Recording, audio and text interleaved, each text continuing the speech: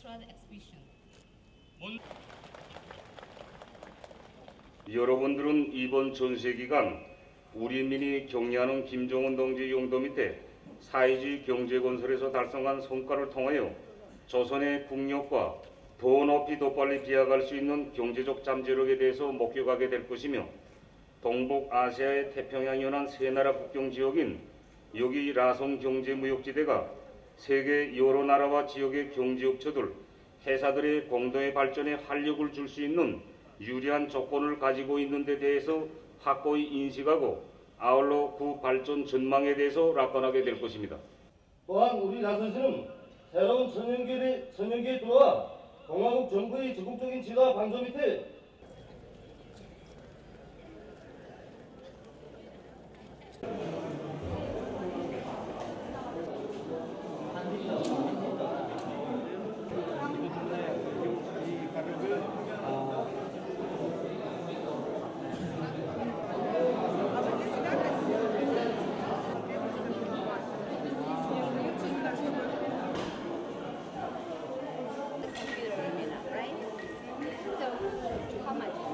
이번에 진행되는 제2차 라손 국제상품 전시회는 4일간 일정을 거쳐 진행되게 됩니다.